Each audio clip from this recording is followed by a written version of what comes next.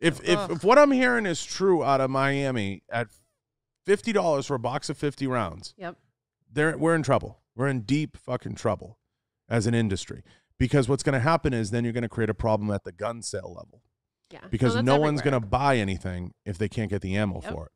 Well, what's interesting is new gun owners have no idea how much ammo, ammo costs, and I think that's what they're they're riding on. But it's so new new gun owners they come in they have no idea how much a gun costs, which is why guns are so expensive right now, and then they have no idea how much ammo costs.